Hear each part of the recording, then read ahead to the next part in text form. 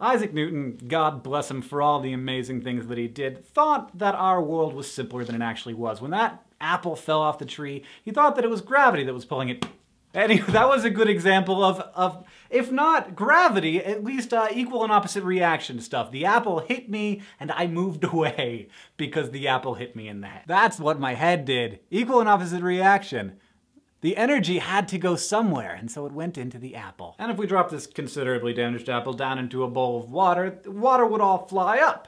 That's a Newtonian reaction. That's a fluid behaving in a way that Isaac Newton would expect it to. But what if, instead of splashing in the water, the water suddenly solidified and the apple bounced away? That would be a fluid behaving in a non-Newtonian way. And if you went to the class geek's birthday party in elementary school, you may have some experience with non-Newtonian fluid. And if you got really into it and got some of it on your clothes, you may have been experimenting with your first non-Newtonian bulletproof vest. This non-Newtonian fluid that you may have some experience with was probably mixed up by that geek's mom. It certainly was mixed up by my mom. Thanks, mom. And she probably called it oobleck, which is a Geiselian term, meaning it was coined by Theodor Geisel, also known as Dr. Seuss. Simply mix together equal parts cornstarch and water and you have yourself a physical oddity. It behaves like a liquid when you stir it around or dip your finger in it, but give it a good smash with an apple and it suddenly solidifies. Fill up a big enough vat and you could run across the surface, but just stand on it and you'd sink like a, like a log.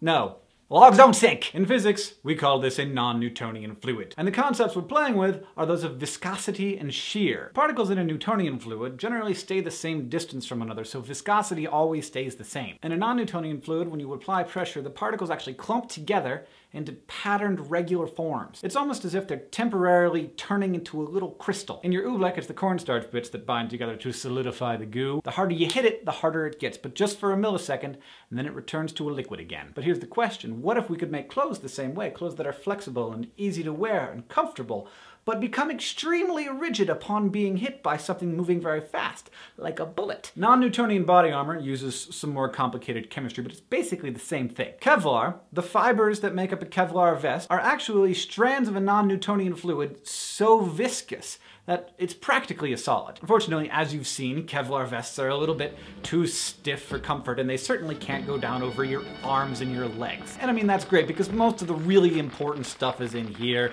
and also up here a little bit, but you pr protect this part, you're pretty doing a lot better. But, you know, frankly, if my choice is get shot in the chest or the arm, I'm gonna take the arm. But if my choice is get shot in the arm or not shot, I would go for the the circumstance in which I don't have a bullet inside of me. So what they're doing now is dipping Kevlar fibers into non-Newtonian fluids, the most common one being silica dissolved in a polyethylene glycol gel. And thanks to science, putting on a bulletproof vest could be as easy as that. Bulletproof hoodie. And then you got head protection too, check it out. And if there's like really something in your way, give it a good like, yeah, I'm safe now. No bullets allowed. I'm not actually safe from bullets. Luckily, I don't really need to be. Thank you for joining us, and I hope that you learned something.